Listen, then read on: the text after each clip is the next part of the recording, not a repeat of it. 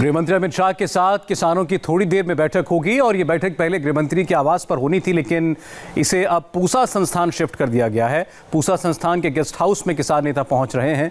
थोड़ी देर में गृहमंत्री वहाँ पहुँचेंगे और गृहमंत्री के साथ तेरह किसान नेताओं के डेलीगेशन की बातचीत होगी। कोरोना वैक्सीन आने वाली है और हर किसी के मन में सवाल है कि आखिर उन तक ये वैक्सीन कब पहुंचेगी, कैसे पहुंचेगी, क्या है वैक्सीन के डिस्ट्रीब्यूशन का पूरा प्लान? देखिए एक स्पेशल रिपोर्ट एक ब्रेक के बाद।